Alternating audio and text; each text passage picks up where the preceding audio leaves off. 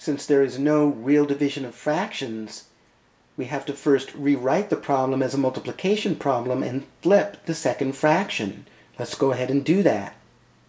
Now we've rewritten our problem, negative 4 tenths times 5 over 1. Once again, we flipped our fraction, our second fraction. Now all we do is multiply across. 4 times 5 gives us 20.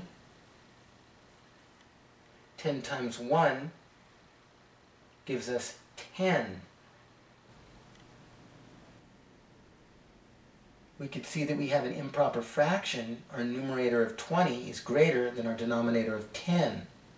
We know that 10 goes into 20 two times, so we put down our 2.